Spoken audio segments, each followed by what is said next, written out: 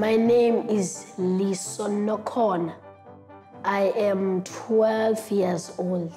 I am in grade 7 at Yomelela Public Primary School. In my class, they call me mastermind because I love to do experiments. I love to go to the library. I read almost all the books. When I grow up, I want to be a doctor or a scientist. My mom told me that we must look after the environment. I love environment and nature.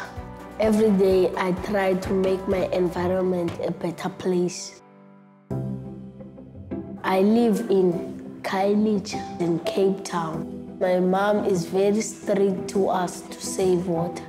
I try my best to help save water. When I'm finished to bath, I save that water so that I can flush the toilet with that water. When I first heard about day zero, it made me scared.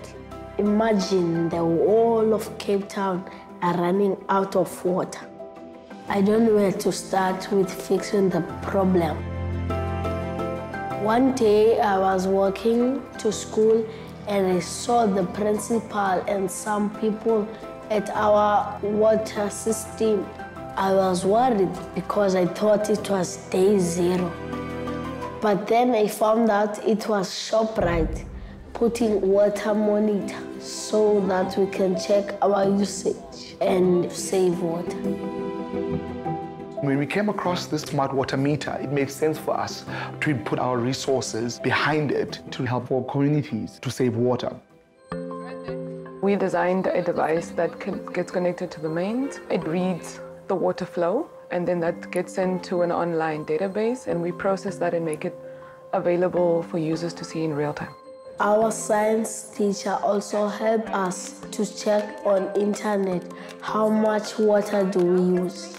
We were very shocked to find that at night, when there should be no flow, there were very high usages. The biggest problem was urinals and toilets that were flushing.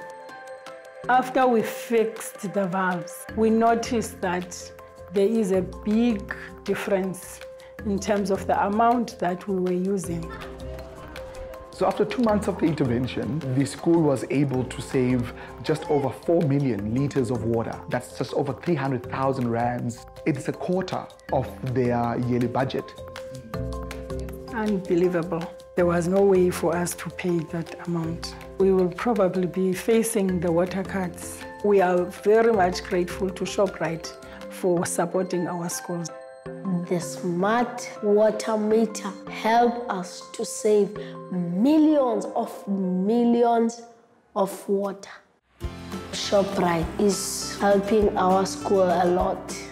That large amount that we have saved, we will use for maths and science extra classes. Yo, I hope we get a soccer field